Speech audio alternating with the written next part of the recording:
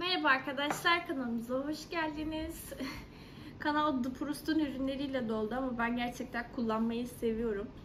Ee, ve sırada güneş kremi var. Arkadaşlar güneş kremi bence çok önemli bir detay.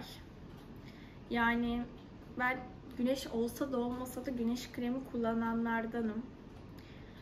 Ee, şöyle ki cildi zararlı ultraviyole ışınlarına karşı korumamız gerekiyor biliyorsunuz ki. Ee, aşırı parlamayı önleyen taze bir his yaratıyor arkadaşlar. Hyaluronik asit ve siyah ile cildi günlük bakım ve korumaya destekler. Ee, gün boyunca 2-3 saatte bir yenileme gerektirir. Ee, 50 faktör bir e, güneş kremidir. Ee, güneşe maruz kalmadan önce 30 dakika önce kullanmanız gerekiyor. Yalnızca harici kullanım içindir.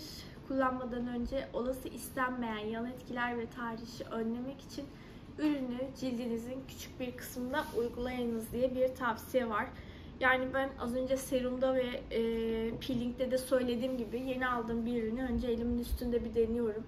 Sonuçta bilinen ya da bilinmeyen alerjilerimiz olabilir, tahrişler olabilir. Bunun için ilk önce bir deniyorum. Ürün bu kadar. Yani bunun renkli olanları da var ama ben renksiz olanını kullanıyorum, sarı olanını. Yine bunu da indirimdeyken almıştım. Şöyle Allah fazla kaçtı.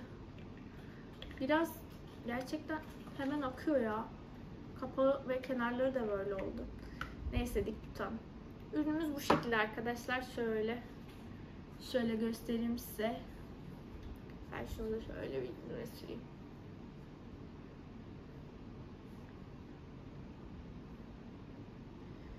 Güneş kremi şart.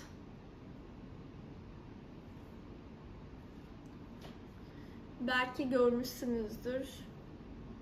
İşte güneş gören tarafla güneş görmeyen taraf diye bir tır şoförüydü sanırım. Öyle bir video bayağı bir viral olmuştu. Güneş ışınlarının ve ultraviyole ışınlarının etkilerini orada daha net gördük. O yüzden yani tüm cildimizi güneşe çıkmadan önce sadece tatile giderken değil, günlük yaşamda da güneş kremiyle korumamız gerekiyor. Ee, kullanan arkadaşlar deneyimlerini yorumlara eklerse seviniriz. Siz de kanalımıza destek olmak için bize abone olmayı unutmayın.